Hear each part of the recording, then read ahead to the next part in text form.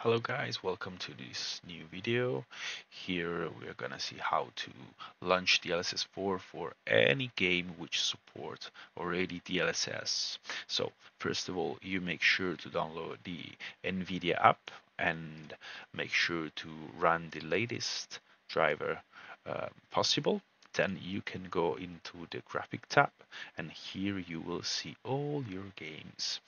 So for those games which already support DLSS uh, so for example Red Dead Redemption 2 you will just need to scroll down find the driver settings section here and of course uh, based on the series of your nvidia graphic card. In my case i'm using a 30 series so i won't be able to to launch the new frame generation stuff because uh, that's mainly for the 40 series and the smooth, smooth, uh, smooth motion is only for the 50 series. So in this case DLSS override you can use different settings for each DLSS technology just click for latest and apply so we are now actually pushing the uh, transformer model the latest one.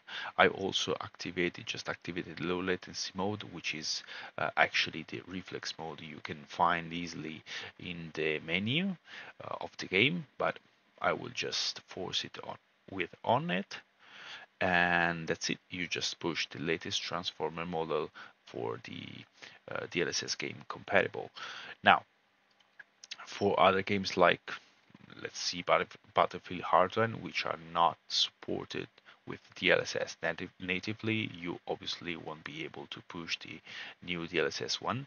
But for any other game which support DLSS, this is the procedure, really nice and easy.